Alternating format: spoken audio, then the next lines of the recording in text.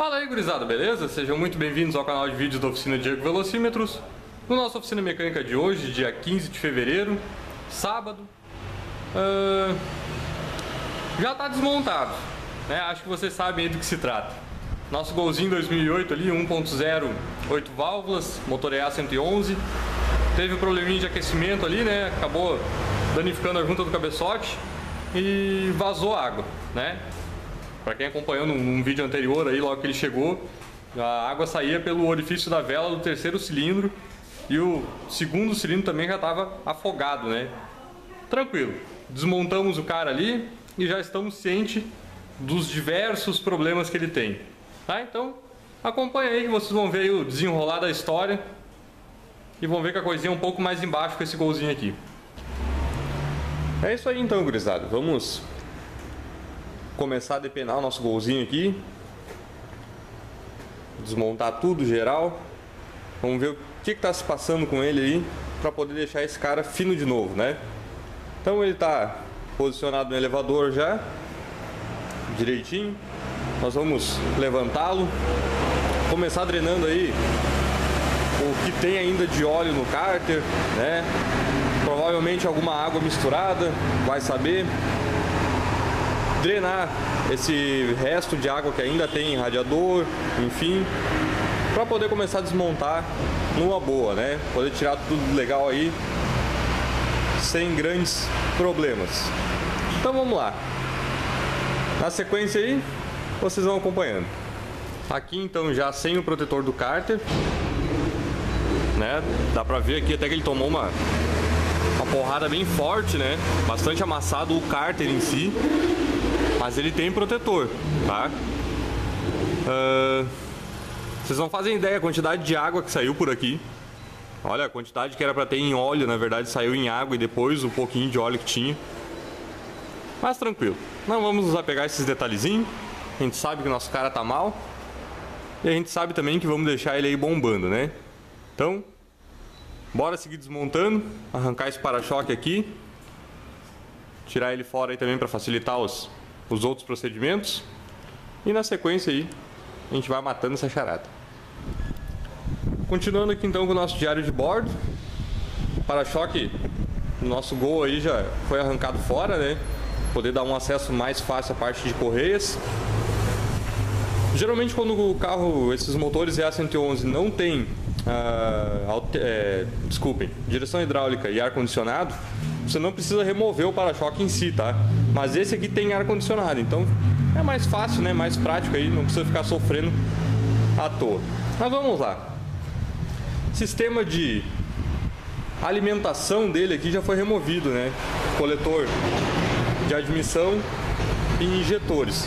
Então aqui a gente já consegue ter uma panorâmica bem boa aí da tubulação de água, né? O cano aqui, a cavalete de válvula termostática, as mangueiras de ar quente, né? Que vão lá para dentro, bomba d'água, já dá para ter um, uma, um aspecto bem bom da coisa aí. Aqui está toda a parte elétrica já dos injetores, sensor de temperatura, interruptor de pressão de óleo, sensor de fase, que é esse cara aqui de cima, tá? Ele pega pelo comando de válvulas, sensorzinho de fase. Uh, esse cabeçote em particular, para se remover ele, não precisa tirar a tampa, tá? Não precisa tirar a tampa dele aqui, que dá acesso ao comando, porque os parafusos são externos, né? Tem aqui e aqui por dentro, esses orifícios aqui, e tem um aqui dentro da tampa Daí você tira essa chapinha aqui de dentro, tá? tem um, uma travinha aqui no canto e você consegue chegar nele lá com facilidade, tendo a ferramenta adequada. Uh, próximo passo agora é seguir desmontando então a parte de tubulação de água. É, nós vamos abrindo caminho, na verdade. Nós vamos desmontando a parte de tubulação de água, vamos remover aí o coletor de escapamento. Né? Quero ver aí se eu não preciso remover o radiador tá? Mas se necessário for, não vai ter jeito, né? Vai ter que sair. Mas se eu conseguir remover o coletor sem remover o radiador, é mais fácil, mais tranquilo. Ou se não, se me der na louca também já arranco tudo fora aqui e depois a gente vê o que acontece. Estando com isso tudo pronto, a gente vem então para a parte das correias. Antes de desmontar a correia, eu quero mostrar o detalhezinho que ela está invertida aqui para vocês. E aí sim, tendo a correia fora, Resta então só o nosso cabeçote para ser distorqueado, que é a ordem inversa de torque, né? Ele precisa ser distorqueado, então, né, por uma certa etapa, né? Não convém remover todos os parafusos em uma pegada só, você vai afrouxando eles na sequência e depois retira então numa boa e tá feito. E aí sim a gente vai ter uma plena visão de como foi o estrago lá dentro. Tranquilo? Ali em cima, é, suportezinho de bobina, bobina de ignição, cabos e velas, está lá no cantinho. E aqui embaixo, coletor de admissão com o tubo distribuidor de combustível, né? Nossa flauta aqui. Tranquilaço? Vamos sacar tudo fora então e ver aí o que acontece. Tamo indo, gurizada. Nosso cabeçote aí já tá nos seus finalmente aqui já, né? Foram removidos então o coletor de admissão, parte de tubulação d'água, né? O cano, cavalete de válvula termostática e coletor de escapamento, onde inclusive pode ver ali um vazamento bem legal de óleo, né? Feio. Eu não queria ter removido o radiador, mas não adianta, é sofrimento demais, né? Mas depois que eu removi, eu fui ver um detalhezinho. Aqui tá as peças. Desculpem o barulho do vento, tá? Coletor escapamento, tá direitinho, pontinho ali dele e tal. O cavalete aqui da válvula termostática, é aqui a, tá a tampa da válvula. A válvula propriamente dita tá aqui ela. Direitinho. O cano e o nosso radiador. De cara a gente já vê ali uma certa sujeirinha, né? Normal. Mas dá uma olhada nesse lado. Tá punk o troço. Muita, muita sujeira. Né? Esse barro que acumula no canto assim, ó, isso obstrui o radiador, porque ele essa colmeia, vamos dizer assim, essas aletas todas de alumínio, o ar deve passar por ela para poder refrigerar, né? É uma troca de, de calor, na verdade, né? Vem um ar fresco que passa pelo radiador, tá? O eletroventilador puxando, ou quando ele está desligado, o carro está andando, o ar passa pelo radiador constantemente, mas pela parte de baixo. Por isso que o eletroventilador é para cima, tá? Vocês podem ver que tem esse espaço aqui, né? Dá aí coisa de um palmo mais ou menos. E tem o eletroventilador em cima. Embaixo está constantemente passando vento com o veículo em movimento. Só que todo obstruído desse jeito que está, a gente perde aí, vamos dizer, 30% da eficiência do radiador. Então ele realmente só refrigera com a ventilação forçada, no caso, com o eletroventilador. Então aquela parte lá se mantém sempre quente com o ventilador desligado, tá? Então isso ajuda a aquecer, a piorar um pouco a situação. Aqui agora então nós vamos partir para a parte das correias, né? Vamos tirar a parte das correias aqui limpar um pouco dessa bagunça de parafusinhos e tal, ferramentas espalhadas ali por cima, não adianta, a bagunça acontece. E assim que a gente remover aqui, a gente remove bomba d'água, tudo direitinho, já dá para nós destorquearmos o nosso cabeçote aí e arrancar ele fora aí para ver o tão esperado estrago que aconteceu. Posicionei o motor no ponto aqui para poder mostrar para vocês as referências da correia. Vamos ver se a gente consegue pegar aqui, ó. A correia é uma Gates, tá? Ó, dá pra ver isso, que ela tá instalada ao contrário, né? As especificações da correia devem ficar voltadas a um instalador. E a questão aqui é o seguinte, ó, o motor em si está no ponto. Ah, deixa eu ver se eu consigo pegar pra vocês. Acho que por aqui fica mais fácil. Ali, ó. Aqui nós temos esse pontinho na polia. E o vão desses dois dentinhos aí deve coincidir exatamente com essa ponta de plástico logo abaixo da polia aí. Como eu estou olhando, filmando em ângulo para vocês aqui, parece que está um pouquinho fora. Mas olhando ele reto, tá certinho, tudo dentro do, do normal, né? E lá embaixo também, a mesma coisa. Nós temos Vamos ver se a gente consegue chegar lá. Esse dentinho chanfrado. Tem esse dentinho chanfrado aí nas duas pontas. Ele deve coincidir com esse friso reto aqui para cima da carcaça aqui, ó. Beleza? Esse motor aqui ele tá no ponto. Só que tem um porém. Vamos ver se a gente consegue pegar por aqui. Olha aí, ó. que ângulo. Olha onde é que tá a agulha do tensor. A agulha do tensor tá para cima do parafusinho guia ali, ó, enquanto que ela devia ficar naquele espaço mais abaixo. Esse espacinho aqui, esse vão, nesse outro ferrinho aí do tensor. Ó. Então, ou seja, opa, desculpa a tremida aí. Este motor aqui tá no ponto, tá certinho, mas tá com a correia montada ao contrário e totalmente distensionado, né? Eu consigo mostrar isso melhor para vocês mexendo aqui na correia e aqui também, ó. Tentar melhorar aqui a luz. Olha. É muita folga. Ah, então isso poderia... Vamos dizer assim, ó, se não tivesse ocasionado o rompimento da junta por aquecimento, essa correia aqui teria pulado fora, teria pulado o dente, arrebentado, né? Enfim, escapado e teria quebrado todas as válvulas do motor, né? Provavelmente. Então, já era um defeito meio que declarado, né? Ou um ou outro iria acontecer. Vamos tirar tudo fora aí para poder sancar esse cabeçote de uma vez, mas eu não podia deixar isso passar em branco.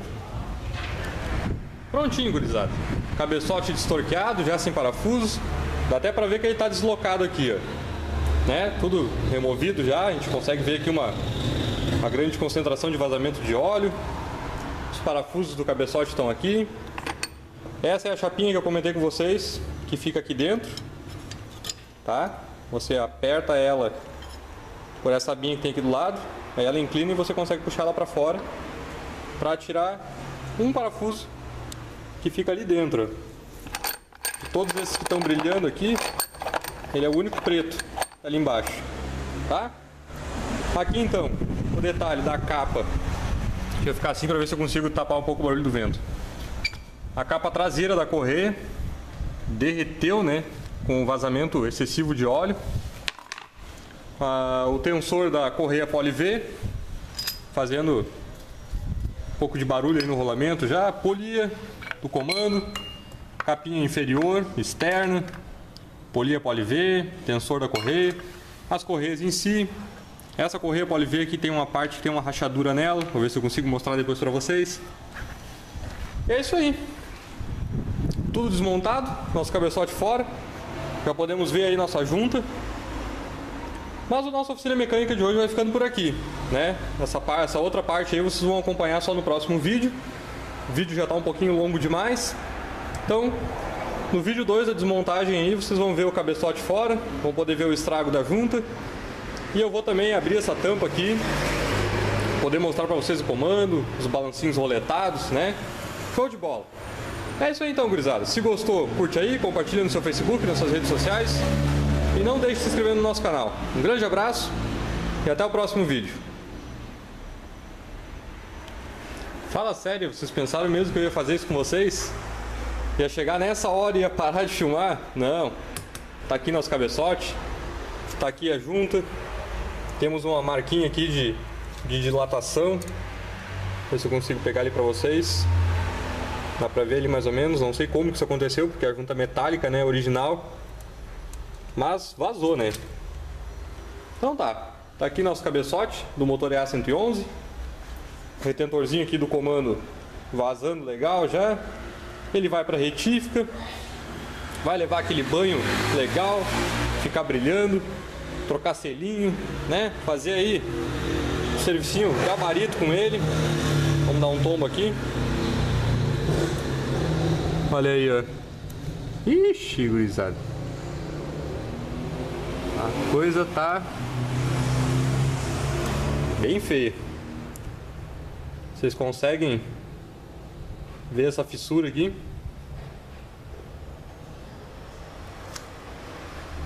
Olha só, cabe um dedo aqui dentro.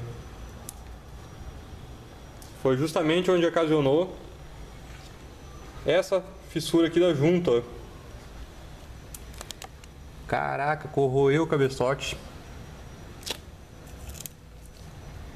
Tá bem feio. Muito pior do que eu imaginava. Né? Temos aí. É, gurizada, complicou. Vamos ver aqui se a gente consegue na retificadora preencher isso aqui com solda, depois planar, para poder deixar em ordem. Nessa aqui eu não não vi diferença, que vazou entre os dois cilindros aqui, 2 e 3. A água passou aqui para o terceiro. Mas o que, que fez passar para o segundo? Na junta em si nós não temos nada, só se passou por entre meio da junta aqui.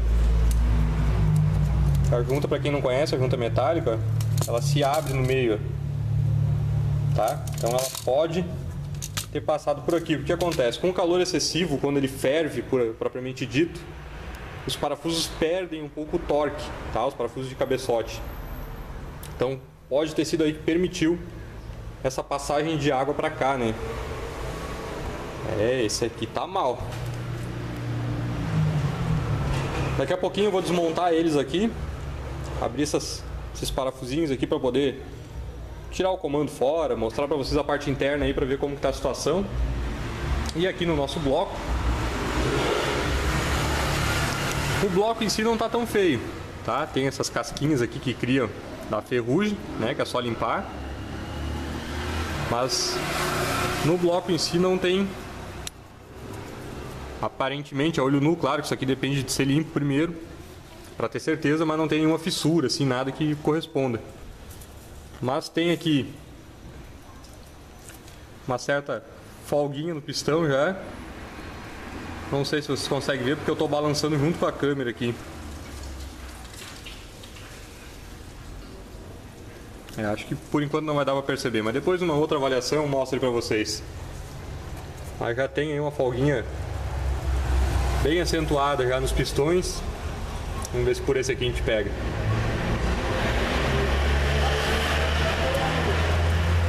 Aí dá para perceber, né? Bem aqui na união aqui, ó. Afastou, juntou, afastou, juntou. Isso é muita folga. Folga demais, na verdade. Isso faz com que passe óleo. E olha como está bastante contaminado o segundo e terceiro pistão aqui. Ferrujado, né? Vamos ver aí quanto a arranhões. É, esse aqui tá meio ruimzinho, gurizada. Mas a gente consegue fazer alguma coisa por ele ainda, né? Vamos ver até que ponto chega a necessidade aí de ter que fazer um bloco também retífica. Nós vamos abrir o cárter dele, vamos ver como é que tá o bronzinamento. E vamos passar aí sempre a informação para o cliente, né? Vamos ver o que, que ele nos, nos autoriza a fazer. Na próxima tomada aí, a gente vai ver esse cabeçote aberto e vamos finalizando o nosso vídeo. Agora sim, nosso cabeçote desmontado, Aqui a gente consegue ver o comando de válvulas. Né? Ele tem aqui um certo desgastezinho, mas eu acho que é mais pela sujeira mesmo do que próprio desgaste em si da peça. Né? Umas certas arranhadinhas aqui na parte dos bancais dele. E aqui é o seguinte, ó, esse cabeçote aqui ele não trabalha mais com mancal mesmo para segurar o, o comando. Tá? É a própria tampa que serve como mancal, né? Então o comando vai apoiado aqui e a tampa se encarrega aí de fechar ele de volta. Aqui a gente consegue ver os os balancinhos. Deixa eu ver se eu consigo tirar um para vocês aqui. Este é o balancinho dele, roletado, bem pequenininho. Aqui está o tucho. O tuchinho está apertado, está meio difícil tirar. Vamos ver se a gente consegue tirar de um outro aqui. Esse aqui pelo menos girar eu consigo. Tá vindo. Vamos pegar um alicatezinho ali e vamos tirar ele fora.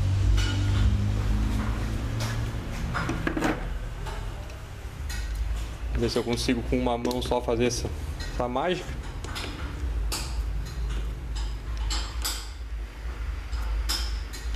Aí. Este é o enorme tucho. Deixa eu botar esse aqui de volta aqui pro lugar dele. tucho recebe lubrificação lá por dentro, por um canal, né? As galerias de óleo aqui do cabeçote. Ele recebe a lubrificação dele em si, entra pela lateral e sai pela cabecinha bem em cima. Né? Lubrifica todo o resto em si e por aí vai. Aqui a válvula, né? A mola. Tá aí. Nosso cabeçotezinho desmontado. Vamos enviá-lo para retífica para ver o que, que vai o que, que vai acontecer, né? A respeito daquela fissurazinha ali. Um outro detalhe aqui é que a bomba d'água tem uma certa folga já. Vocês com certeza vão conseguir ver aí. Deixa eu pegar ela melhor aqui.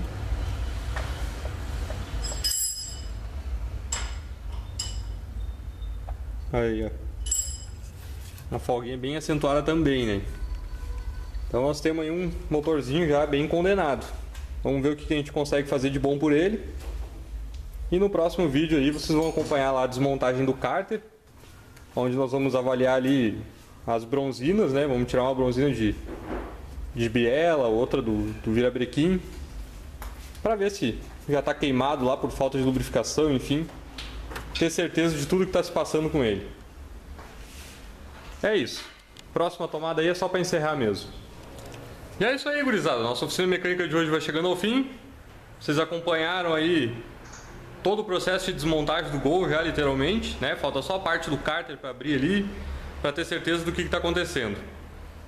O cabeçotezinho tá mal, né? Vamos receber aí a resposta da retificadora, depois assim que ele for, para ver se é possível fazer aquela solda ali na, na, na parte da câmara de combustão, para ver se vai segurar direitinho, né?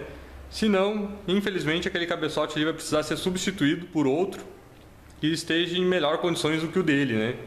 E aí depois desse bloco aqui também, para a gente ver o que está acontecendo com ele. Daqui a pouco está com folgas excessivas embaixo, bronzeamento queimado, alguma coisa assim, e também não adianta. O cliente já me disse que ele tinha um histórico já de baixar óleo, né? Então já justifica um pouco aquilo ali. Beleza? Se gostou, então curte aí, compartilhe no seu Facebook, nas suas redes sociais e não deixe de se inscrever no nosso canal. grande abraço e até o próximo vídeo.